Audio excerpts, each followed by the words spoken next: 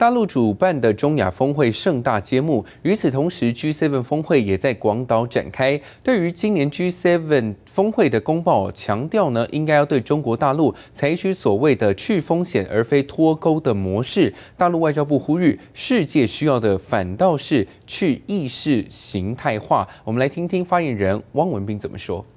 谈论所谓的去风险，首先要弄明白风险是什么，源头又在哪里。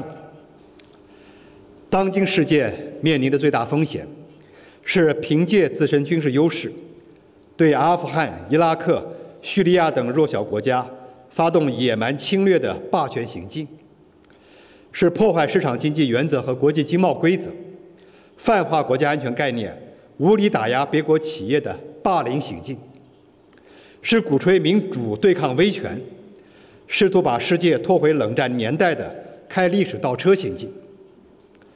这些风险无一来自中国，全部来自少数试图给中国贴上各类标签的国家。中国坚持走和平发展道路，坚定奉行互利共赢的开放战略。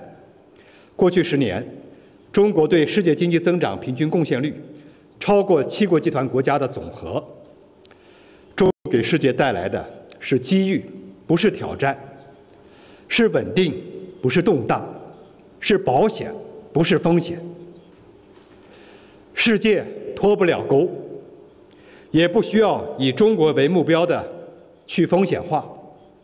世界需要的是去意识形态化、去阵营化、去小圈子化。